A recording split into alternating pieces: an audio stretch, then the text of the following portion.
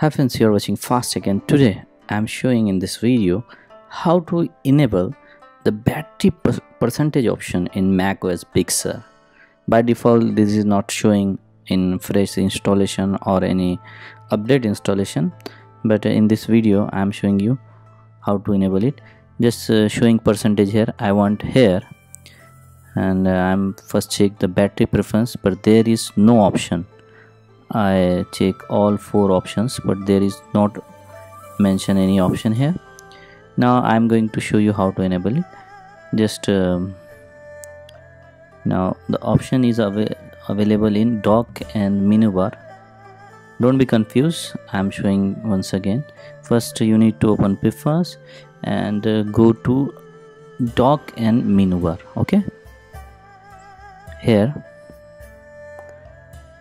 slide down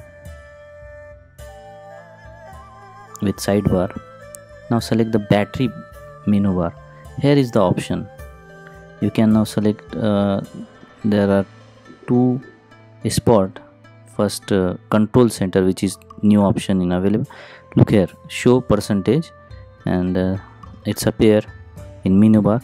Now you can click show in control center also which will appear in bottom at control center. And uh, in this menu and dock and menu bar you can check uh, most uh, options like uh, another sound settings etc.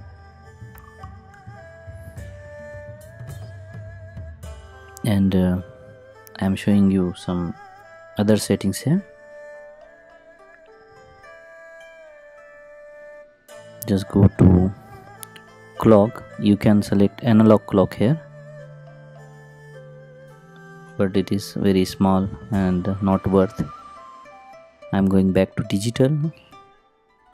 And also in the sound section I can hide the control setting bar which is uh, by default already here. You can disable it uh, by uncheck the option thank you for watching this video friends and uh, please like and subscribe